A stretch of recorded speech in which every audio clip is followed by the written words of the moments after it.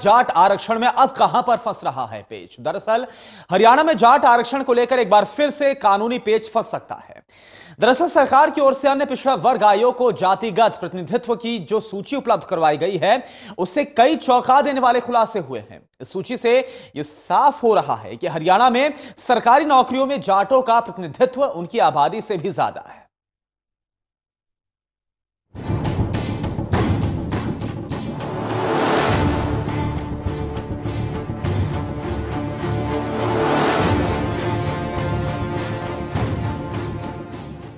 हरियाणा में जाट, बिश्नोई समेत छह जातियों के आरक्षण पर एक बार फिर से कानूनी पेच फंस सकता है, क्योंकि सरकारी नौकरियों में अन्य वर्गों के मुकाबले इन जातियों का प्रतिनिधित्व पहले ही बहुत ज़्यादा, यानी इकतीस दशमलव तीन पाँच प्रतिशत है।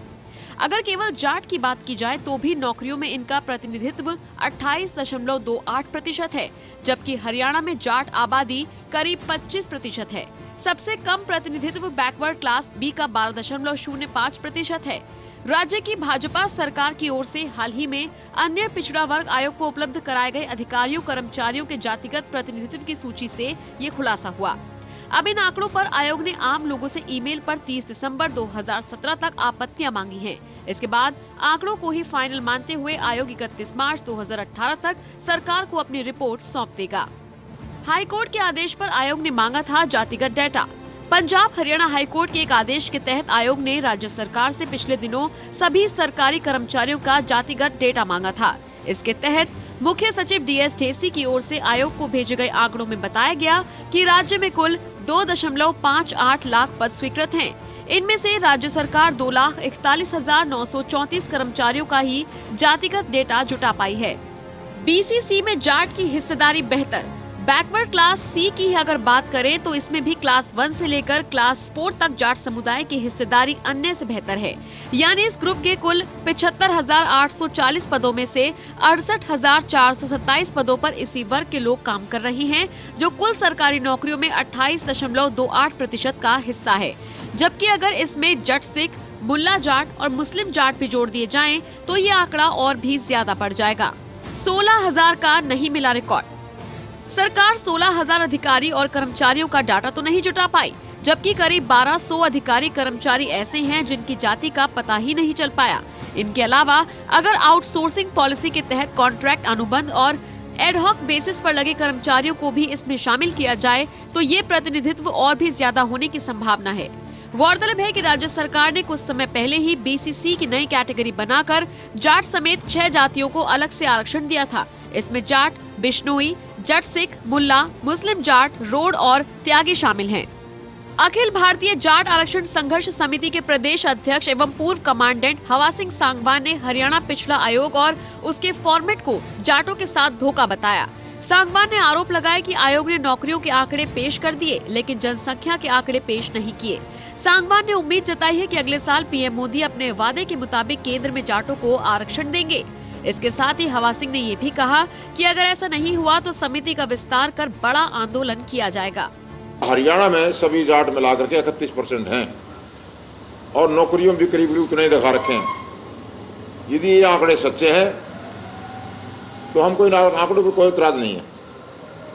और मैं आपको याद दिलाना चाहूँगा, हमारी मांग थी कि केंद्र में जाटों को आरक्षण दिया जाए।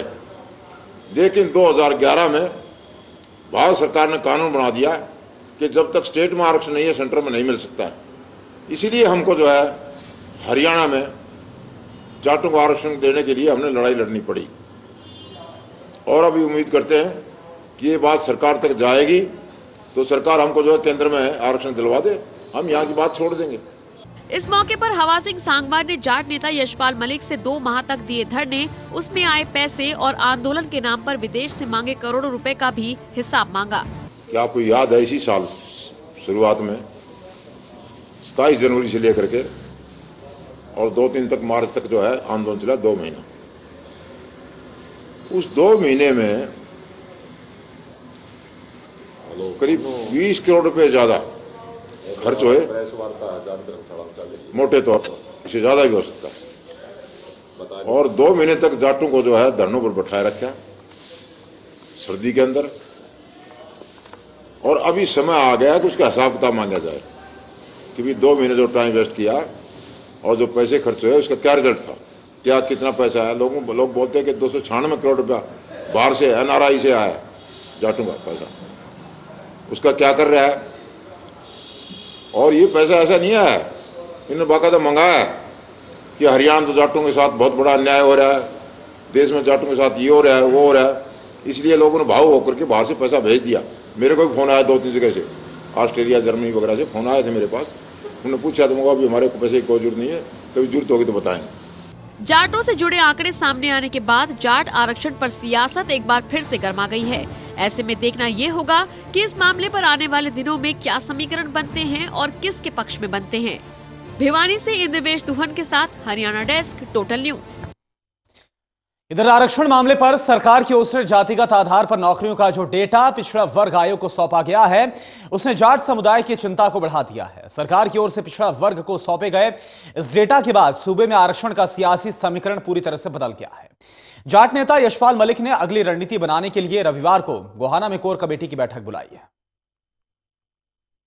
Punjab and Haryana high court में चल रहे जाट आरक्षण का मसला एक बार फिर उलझता दिख रहा है। सरकार ने नौकरियों में जातिगत आंकड़ों का जो डाटा पिछड़ा वर्ग आयोग को दिया है, उससे जाट आरक्षण की लड़ाई लड़ रहे संगठनों को धक्का लगा है। इस लड़ाई में नया परिदृश्य उभरने से आरक्षण की लड़ाई लड़ रहे यशपाल मलिक गुट ने 17 दिसंबर रविवार को गोहाना में आपात बैठक बुलाई है।